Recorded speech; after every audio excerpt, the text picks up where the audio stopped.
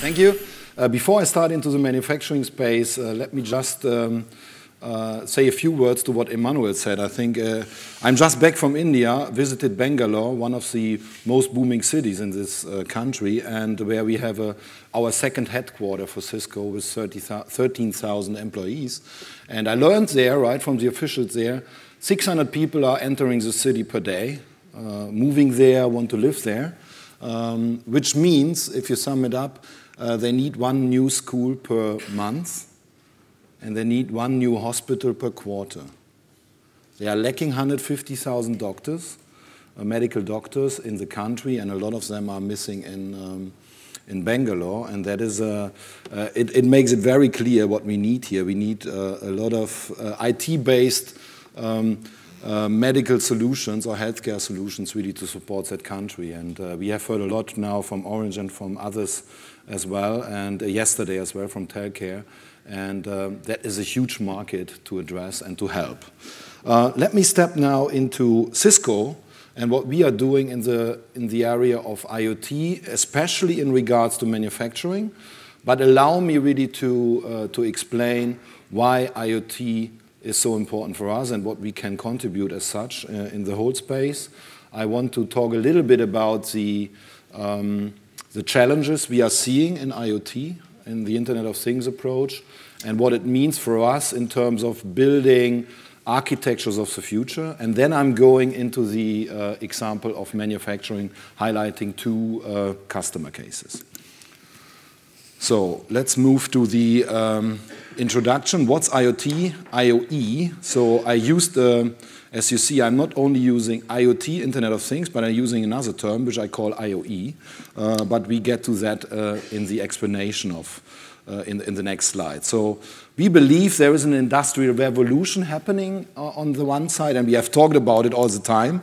And uh, after the canals, which have been established um, 100 years ago, the railroads, the steam engine, the um, electricity, the internet itself, if, if, you would really count it as one of the industrial revolutions. Now it is really the internet of things happening. And, uh, but uh, it is not only a revolution in terms of industrial revolution, in our terminology, it is an evolution what is happening, an evolution of the internet. So industrial revolution on the other side, using the internet really to make things happen, to make it more productive, more elegant, etc. On the other side, it's the internet uh, where we are coming from, which is transitioning, which is changing. And for those of you who have looked into the internet 20 years ago, that is when I started with Cisco, it, is, it was all about connectivity, right? Um, the first web browsers popped up, search started to happen before Google, uh, and it was emailing what we did, right? It was just a client-server type of uh, technology, and most of you probably are familiar with that time. Uh, but this is long ago, and that is just basic in the internet. Um, then we had the network economy, which is still a very important part of our business, and where a lot of people laughed about when we started with e-commerce, etc. Cisco at that time, about 15 years, 10 years ago, was the biggest e-commerce site worldwide, with more than a million users buying from us uh, online, right? Uh, before all the others started up, right? Um, we are not anymore. We are just leveraging e-commerce as a vehicle, but this was also the start of Salesforce than others. But it was also another interesting uh, thing happening. Telephony totally changed towards IP telephony, so traditional proprietary uh, telephony changed to collaboration, to IP-based collaboration. Something similar to what is happening now, you know. When we talk about manufacturing, especially where I get to later, it's all proprietary. And you are moving towards a standard, open, IoT type of scenario in the future. Um, everybody is laughing about it, or some are laughing about it. This will never happen because of a lot of issues we are seeing, which I explain later how we address them. But on the other hand, if you talk to the BMWs, to the VWs, and others, they say, okay, the internet is really the way we are going, in production in the car and everywhere, right? If you secure us, if you uh, um, guarantee privacy and other things. But I get to that. Third phase, which we, uh, which we are in now, we call it the immersive experience phase, which is characterized by social, social platforms, Facebook, etc., by mobility. So we have seen numbers yesterday, the number of mobile devices. Each of us has at least uh, two to three IP-enabled devices which he's using, smartphone, PC, iPad, Android devices, etc. And uh, the number is going to rise to a six or seven in the, in the near future. And we see a lot of our kids who are already using more than three devices in parallel. In parallel watching TV is, is, is not really anymore the key thing. They do other things. Cloud, we have, we have heard a lot of stories about cloud, and we believe cloud is playing an essential role, but it will completely change. The cloud as a central cloud, in our view, will disappear because the real-time demands and the requests of our customers are far beyond what a cloud can do. Therefore, we believe the cloud is moving closer and we call it differently in our, uh, in our terminology, and I will get to that. The cloud is moving closer to the event, to the production line, to the car, because we need real time, we need it safe, we need it secure, and uh, the cloud, in our view, in a, in a, traditional way, has some deficits which we need to cope with. Uh, fourth point is video. Everybody of us is using video. Uh, in, in Cisco, 80% now of the traffic in the corporate network is video not only playing YouTube videos, but really using it as a, as a communications uh, type of vehicle. And I know from most of the customers, they are above 50% and more, and this is going to rise. So the next uh, phase we are getting into, we call it the Internet of Everything, instead of calling it the Internet of Things. For me, the Internet of Things we, we, we, made a difference now this morning between Internet of Things and M2M. For me, the Internet of Things is M2M. Maybe it's the wrong terminology, based on a different architecture, so it's Internet, I know that. But we believe to make the Internet of everything happen, it, it needs more than communications between things, right, between machines. It is more about what do we get out of it, and we have talked about it. Uh, it is data, and this data is coming in a, in a huge volume and needs to be reacted on in, in, a lot of cases, not in all, I know that. We have examples yesterday seen where it is not the case, but in the manufacturing it has to be reacted in real time. So the data volume needs to be worked on. Processes are behind it, uh, who are really working on it, analytics, and then it's given to the people who can react, right? So these four cornerstones in our terminology, make uh, the Internet of Everything uh, in, uh, in comparison to the uh, Internet of Things, which in our, our thinking is related to the machine-to-machine -machine or things communications. Um, what does the Internet of Things bring to us? It brings more efficiency, it brings economic value, and it brings quality of life, depending on where we are, where we are looking into. Do we look into the industry? industries? Do we look into uh, the financials? Do we look into the private life, into the smart home or whatever? So there are different um, things we can achieve with the Internet of Things. I want to give one example here, um, which has been done by GE at their Minds and Machines conference they do every year. They evaluated what does it mean using the Internet of Things or everything uh, in um, up-tuning specific industries. So saving of 1% of uh, in, in, fuel consumption, for example, in aviation, by using IT and intelligent sensoring, etc., would bring you $30 billion uh, uh, value, which you can leverage for other things, economic value. In the power industry, in the healthcare industry, in rail, in oil and gas, and they have a huge list which is beyond that. That is just within 15 years um, value which you can create in addition if you be more efficient, if you reduce uh, inefficiencies by 1%. That is a very conservative assumption in my view. We will see much bigger impacts. And we have seen a lot of examples already in the, in the, last, uh, in the last day. I think that is a remarkable number, and I will get to uh, some concrete examples later. Sorry that I show that, and we have talked about yesterday, and we know that the Internet of Things is happening. We are at 13 billion devices, smart devices, IP enabled devices. And we, when we say IP enabled devices, I say IPv4, v6 enabled devices. So these are not dumb sensors or dumb devices. These are already intelligent devices if they have an IP address. And they can do more than just sending something in principle. And um, the assumption, and I think Ericsson came up first with it, the 15, 50 billion smart objects in 2020, so in seven years from now. I think it's conservative. We see an adoption which is much uh, faster than that, and it's still five times faster than electricity adoption or telephony adoption in former industrial revolutions. So it's going to happen. Um, if we go to the next slide, then we see there is a lot which we still can connect if you really count objects in this world. And maybe it's a little bit um, making you nervous if you see that what are these guys talking about? 99% is not connected and you want to connect all of that. You know, we don't know, but uh, there is a potential that things are going to happen. And, uh, and I don't get into the examples of connecting a tree or whatever. There are useful scenarios behind it. And um, we see it all over the place, and we have seen a lot of examples. So there is a huge potential to happen. And we see at the moment the sensor prices, the actuator prices, and all of that, the sync prices are going down rapidly. And uh, in, co in um, contradiction to what I heard this morning, and I get to that later because it has an impact on the architectures of the future, the prices of storage and compute are going down rapidly, the communications prices are not.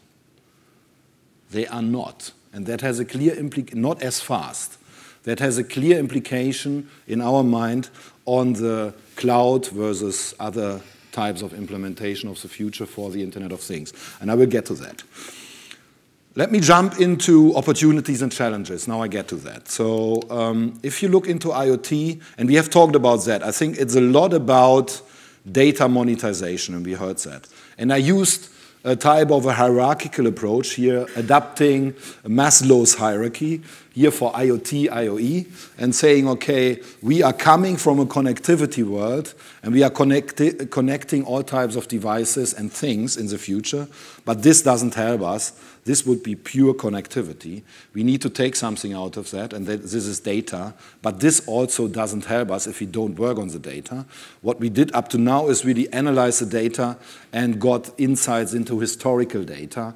And, uh, but really with expert system and intelligence, we can really build a foresight uh, look into the future and make assumptions. If we can do this in an automatic uh, way, then we can generate new business models. And uh, I can tell you one thing, I was in the US with the CEO of Continental, manufacturer of tires, and also a supplier to the automotive industry, one of the biggest ones worldwide.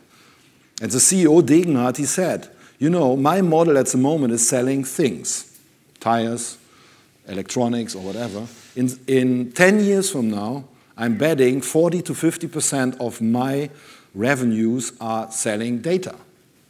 Is based on selling data.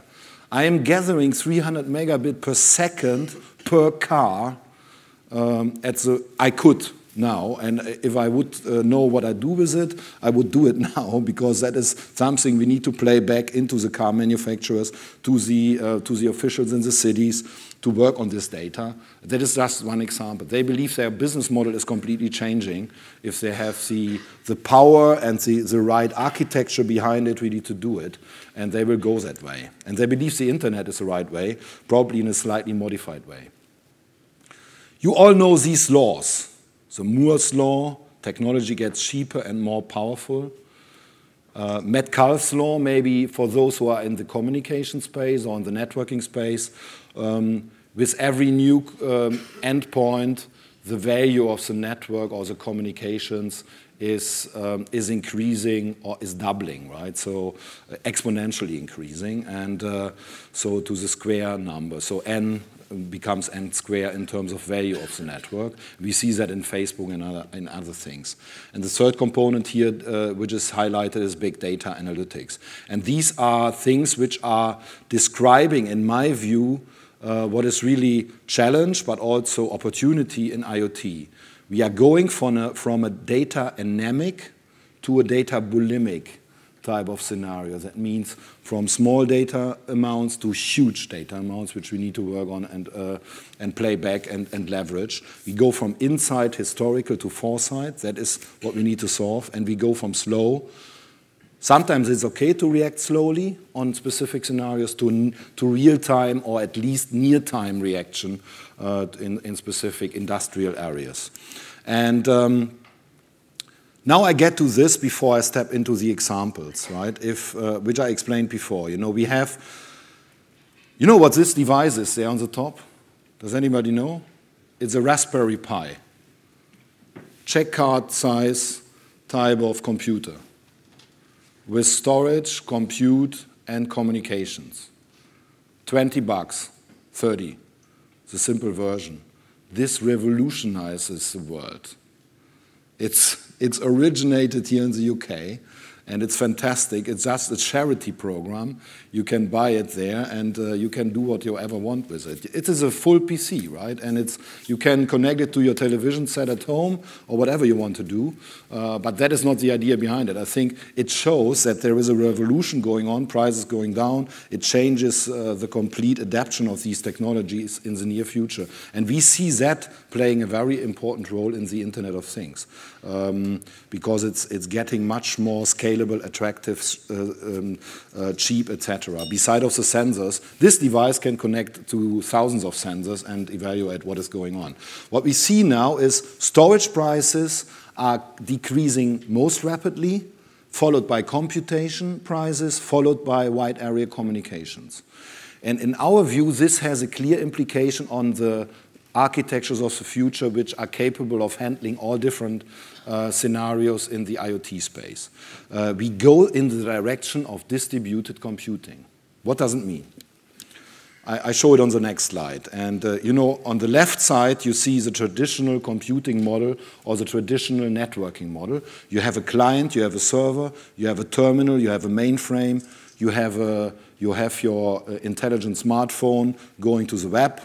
All of that is one-to-one, -one and it's uh, small to big with, with the requirements in the Internet of Things scenarios and in, in the industry, we are told from different manufacturers, machine builders, also from the transportation customers we have, Deutsche Bahn, uh, Network Rail in the UK and others, guys, I cannot wait, uh, I, I, I, cannot really stand the, the light speed latencies, right? This, what you are doing and helping us really to, um, to become really um, real time needs to get closer to the to the real event, to the real um, thing happening, right? So we need to design networks of the future or communication architectures which are different from now.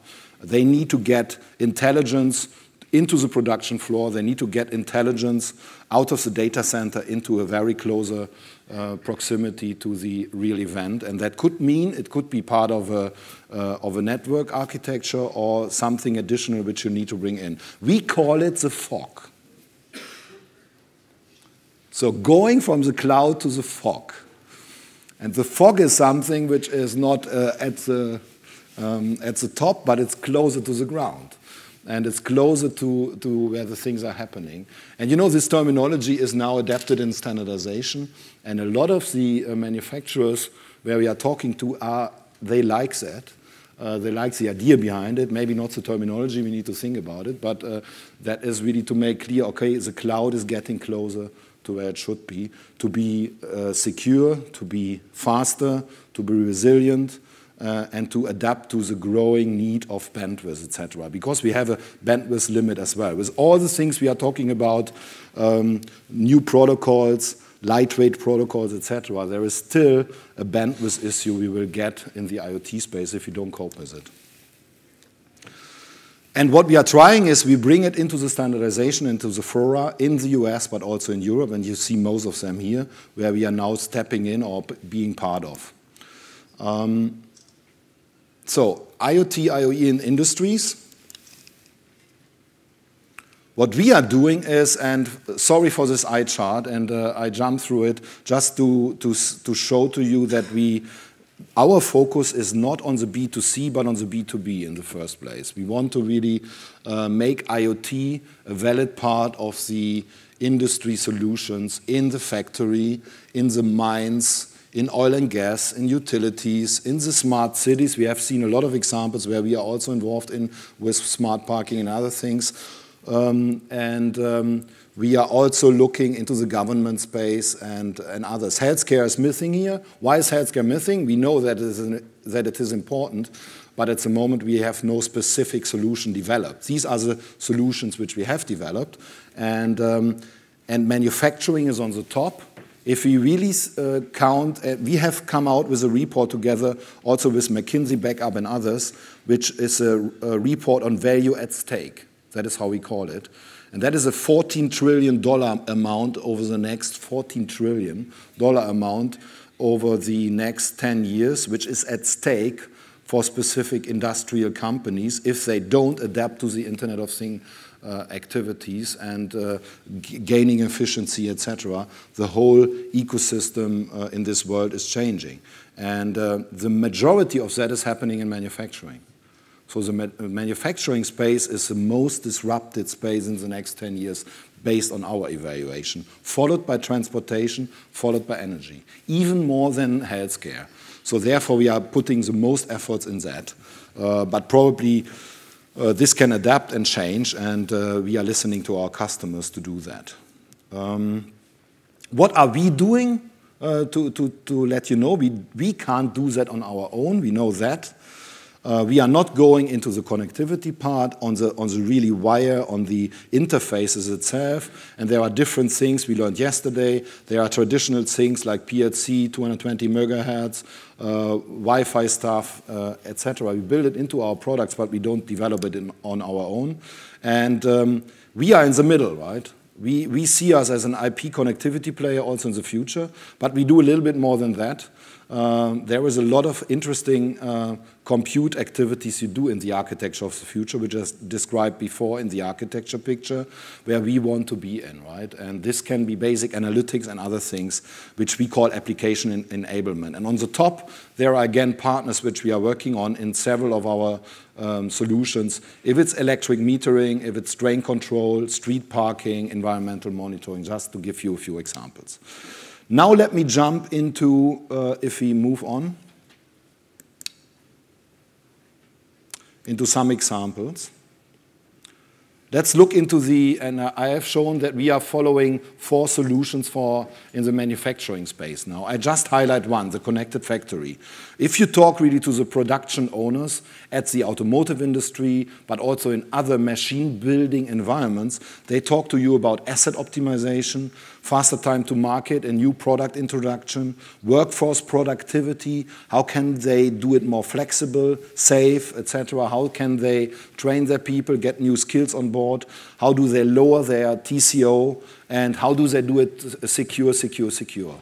By the way, when we entering the, all these discussions, the main topics, the main concern with the Internet of Things, they're approaching us with is security, right? It's always security. It's security more than safety.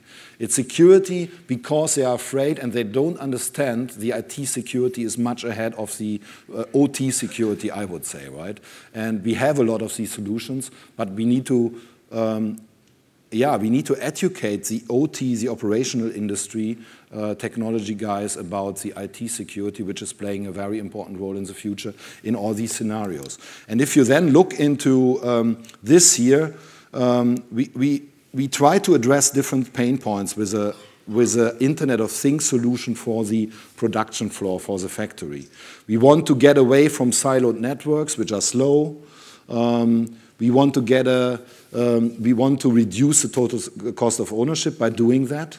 And that is what we call the converged factory network. Why shouldn't there be several networks? Because they're afraid it's not secure. We, we should show that, and we can, right? Uh, there, are, there are definitely threats on uh, safety and security which we can handle with an integrated security solution into the architectures they are building. We can do that. Um, and then there is the topic of mobility, which is playing an important role, where we as an IT company, as an architecture uh, company can help.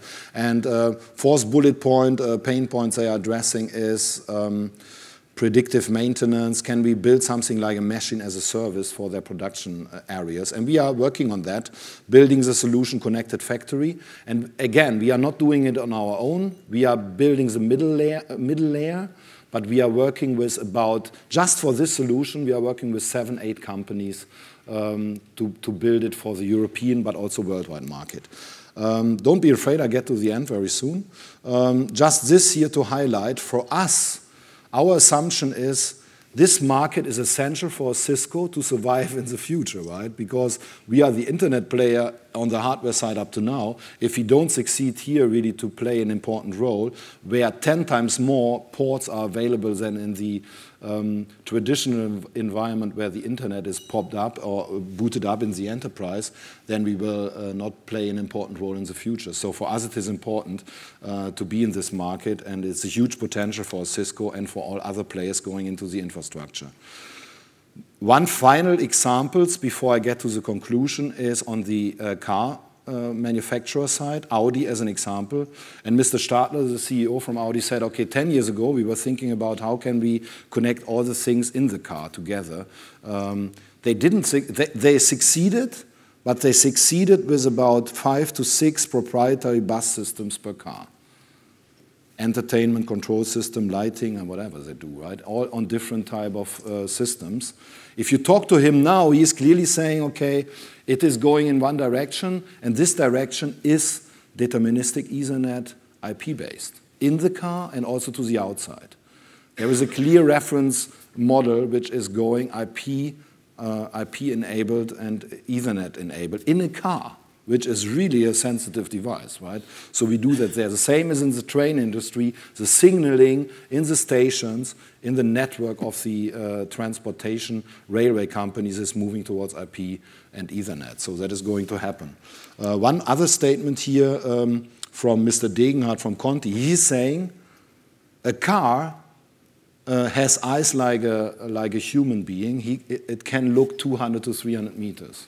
So if you don't build a, if you want to make the, the car industry changing and wa walking towards a, for example, driverless community in the future, uh, then you need to enable the things around it, right? So communication with the streets, with the lighting, with other cars, with a, back, with a backbone which is internet-based, right? Just one example, he said 50 kilometers per hour um, if the cars wouldn't drive faster than 50 kilometers per hour now, we could, uh, we, we could make all cars driverless now. Now, without doing any accidents. In, in 10 years from now, we will have uh, the possibility, technology-based, to go to 100 kilometers per hour. I think that is I told him probably that is, a, that is not good enough because in Germany nobody would like it. We want to drive faster than 100 kilometers per hour. So it, it will fail. No driverless cars in Germany. So having said that, um, I just want to invite you to this here. We have understood manufacturing, transportation, and a lot of industries are going to happen in Europe and, and not in the US in the first place. There is a clear world marked leadership on, in a lot of industries here in, in Europe, and therefore we decided to move to Berlin as a, um, as a um, as a city where we want to implement a center of innovation now, where we are focusing on building solutions for the manufacturing, transportation, and energy sector worldwide. So Cisco is, is going here and uh, doing a lot of uh, research and development work. And I can invite all of you to join us because this will be an open uh, environment, uh, inviting partners really to work with us on our open platforms. Thanks for listening and um, I hope I kept the time nearly. Okay, thank you. Um, okay, thank you, Bill.